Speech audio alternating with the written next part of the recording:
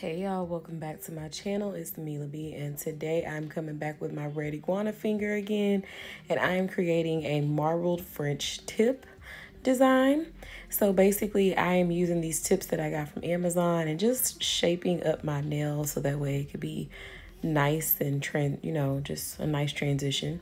I'm coming in with a nude from JC Beauty Concept. I am using my no odor monomer from Sheba nails. Um, this is a cool no odor monomer, but my favorite one is from Nail Supply Glamour, but I was out of it, so I used this one. This one is a little bit oily for my liking, and it's a lot slower setting than the one from Nail Supply Glamour, so yeah, it took a little bit longer, but made it work. But anyways, I applied my new color from JC Beauty Concepts, and just worked around the edges because I didn't want to do all that filing, so I tried to keep it as neat as possible so I did not have to come in and do the filing when it came time to do my French.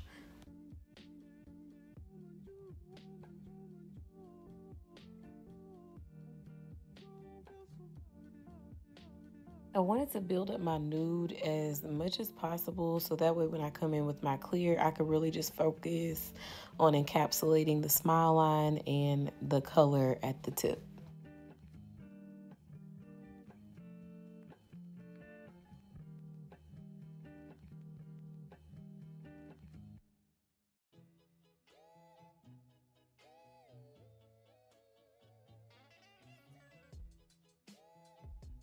My marble tip, I'm using the dip powder. It's called Go Getter from Double Dip Nails. I'll make sure I leave the link in the description box.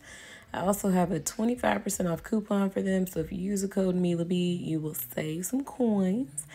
So what I did was I went ahead and applied this very thin at the entire base because I wanted everything to have that lime color.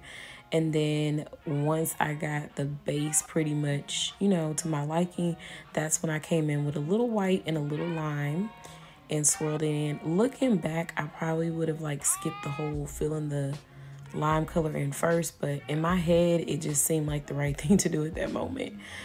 So anyways, I'm just to marble in, just kind of just pat it. It's like no perfect way to do this. So I kind of just pat it until it's my liking. And then I come in with my Mia Secret Clear after that has dried. And then I encapsulate. And as you can see, I just put a thin layer at the um, near my cuticles and then I work the rest down and then I focus on that smile line and my tip so that way I can completely encapsulate the nail. So once I was done with this and getting it to my liking, building up my apex, I went ahead and let this nail dry. And like I said, I used my no odor monomer, so it took quite a while to dry. And then I filed it and shaped it and buffed it off camera and applied my clear coat. And that's it, y'all. This was very, very simple.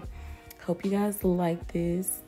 And don't forget to subscribe, guys. And I will see y'all on my next video. Mila Bee out.